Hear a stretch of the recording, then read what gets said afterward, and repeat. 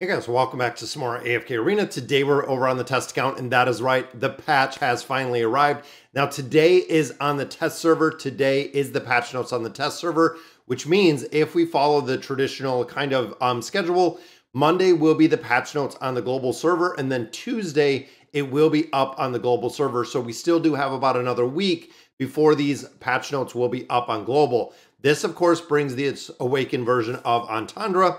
Now, overall, it seems like a lot of players are not too impressed with the design. Um, and really, the, the visually looking at the hero as an Awakened hero, a lot of players are a lot uh, love the skin that they did for Antandra, but not so much the Awakened version because it is kind of basic where they could have really went, you know, big Dragon Flame Spear um, kind of build, but unfortunately, that's what, what they went with.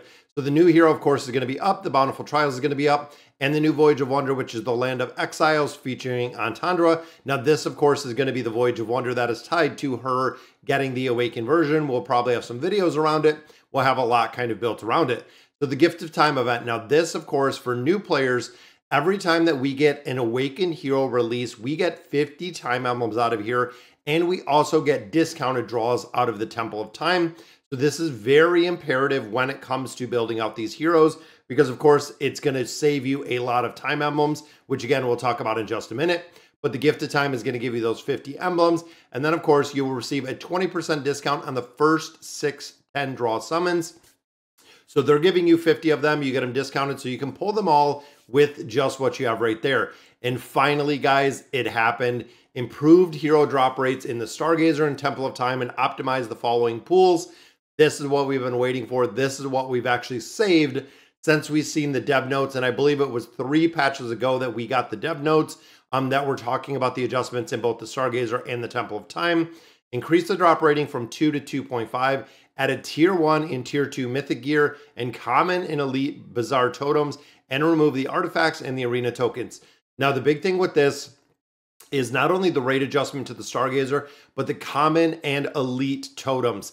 Now, of course, you can get common and elite totems. You can take those totems, you can recycle them into the mythic or the legendary totems within the collections, which means you don't need all of those arcane staffs to go ahead and summon, even though they're very, very nice to have. And I feel like we do need them on a regular basis to do summons. This is going to give you at least some ability to get some of the totems in there. So when you're doing your run, you can actually use those totems.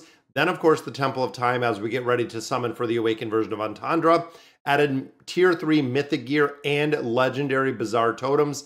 That's right, you are going to get the Legendary Totems out of here, which is going to be exceptional when it comes to being able to, again, build some of those collections, giving you the ability. Now, for me, this is kind of just a stepping stone in the right direction to building out those collections it's been way, way, way overdue. And I feel like the increase or the addition of arcane staffs in a couple other places need to need to really be um, increased as well because even with the totems, there is a very, very big RNG factor to getting them and getting really good quality, high level um, collections out of there are very difficult to do.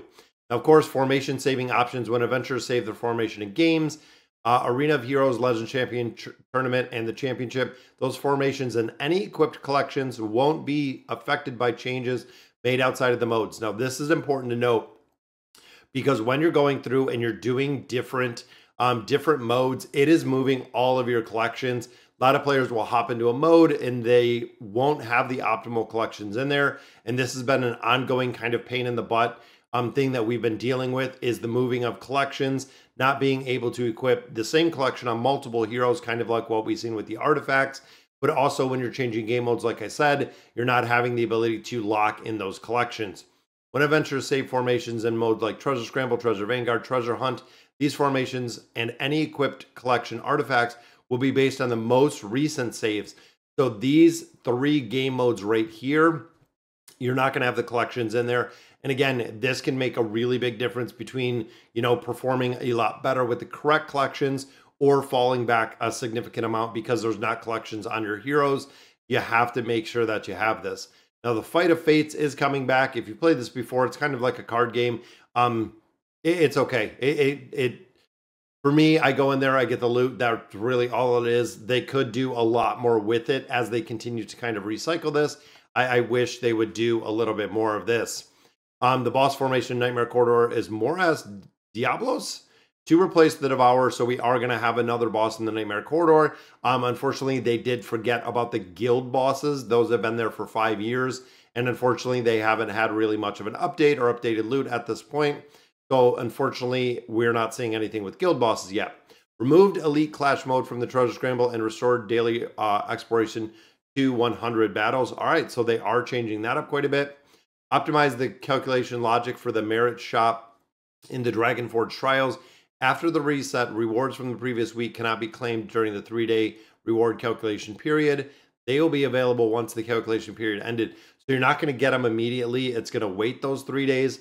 Not too happy about that because, of course, this, again, the Dragonforge needs a little bit of a revamp, maybe just a little bit of a tweaking.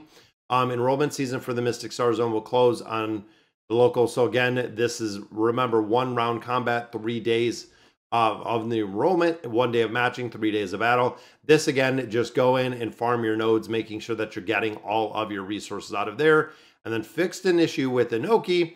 Not sure a lot of players know, but Inoki is actually a Mauler hero that nobody uses. So there are some fixes in there with War Fury, which of course they could make some adjustments. And I know looking in here, we're going to have to see what the awakened version of Antandra looks like and how effective that she is going to be. But even here, guys, when you start looking at the, the bigger picture of the heroes, when you look at the Stargazer, when you look at the Temple of Time, um, we have to measure really the impact that we're going to see with the awakened version of Antandra. But also, when you start looking at some of the awakened version of Shemira, when you look at the awakened version of Athalia, even the awakened version of Baden, a lot of those heroes are still used in an incredible amount of places. So if you're currently building a hero, finish out the hero. This is a question I get all the time when it comes to the awakened heroes.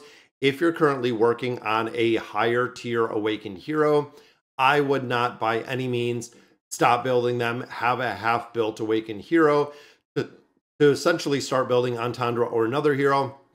Finish the awakened heroes that that you have and of course, when you're finishing the Awakened Heroes, there are really a couple things to remember. Number one, you have to get the signature item to plus 30, the furniture to the 9 of 9, and then, of course, the E60 engraving on the Awakened Heroes. And I don't think there are any Awakened Heroes that do not require the full, um, the, the 30960 build. Because of the design, because of how they are, that unlocks all of the skills and abilities. If you're missing any portion of those, essentially you're going to have a hero that is missing a lot of skills and abilities and the effectiveness of them goes down dramatically. Now, of course, looking at the Awakened version of Antandra, we finally got the Fiery Devotion. Now, we've been doing the, the stained glass window in here. And again, a little bit of kind of basic on the build. And that's what a lot of players have been kind of talking about. You can see it goes through the story. The overview will be available tomorrow which is funny because they will release the hero. The patch will be up tomorrow. We'll be able to see the skills and abilities, including the awaken skill. Even though they're still going to be locked in here, we have full access to the hero tomorrow, which means that we're going to have the ability to actually go in there and check out everything before it's released in the storyboard, which I guess I don't understand a little bit because I think they should kind of go in conjunction, releasing the hero when they do the skills, but it's the way that Lilith does it. But all right, guys, so that is going to do it for our patch notes. Let me know in the comments what you guys think. And as always, thank you guys for watching.